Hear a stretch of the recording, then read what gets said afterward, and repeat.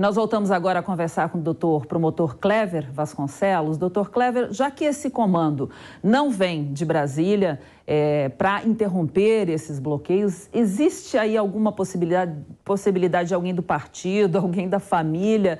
É, quem poderia tentar acelerar esse processo, porque as consequências já estão ficando bem sérias né, no país? Olha, Cláudia, eu vou, é, antes de responder a sua pergunta, só fazer uma observação.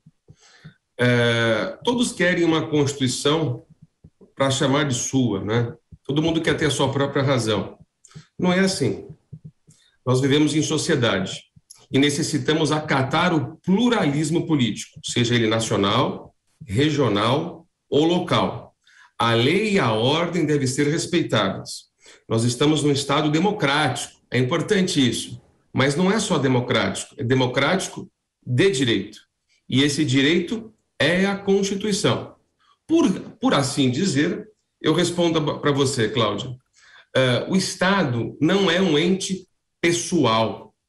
Não pode uma família, não pode uma pessoa né, é, comandar o Estado. Nós temos instituições. E as instituições estão acima das pessoas.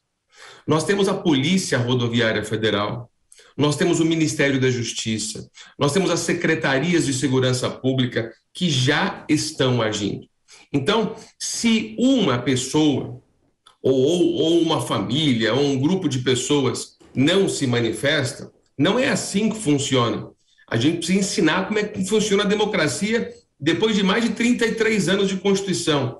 A democracia funciona através das instituições e não através das pessoas. Por isso, independentemente de uma pessoa da oposição ou da situação se manifestar, o Estado deve estar presente. E o Estado é esse ente público despersonalizado.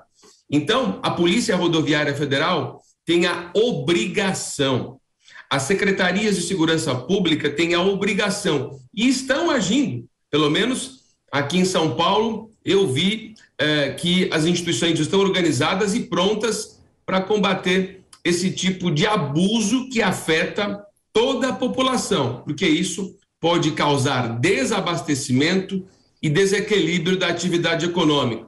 Então, uma coisa eu digo, Cláudia, é protestar, é você não se conformar com A ou B ter ganhado ou ter perdido a eleição. Isso é do jogo democrático. Puxa vida, depois de mais de 30, 33 anos de Constituição, a gente ainda precisa ensinar que derrotas e vitórias são parte integrante do jogo democrático. É assim é que funciona. E é assim é que vai continuar funcionando, funcionando ao longo dos anos. Portanto, isso não é o papel de uma pessoa, isso é o papel da instituição. E a instituição não é pessoal. Doutor Kleber, a gente tem um tempinho ainda para uma última pergunta do Diogo Schelp.